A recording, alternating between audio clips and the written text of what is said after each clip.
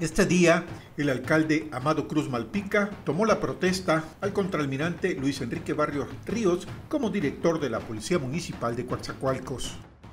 Contraalmirante Luis Enrique Barrios Ríos, protestáis guardar y hacer guardar la constitución política de los Estados Unidos mexicanos, la constitución política del Estado de Veracruz, las leyes que de una y otra emanen, cumplir leal y patrióticamente con los deberes del cargo director de la Policía Municipal que el Ayuntamiento le ha conferido? Sí, protesto. Hasta aquí la información. Soy Pedro Cayetano. Hasta pronto.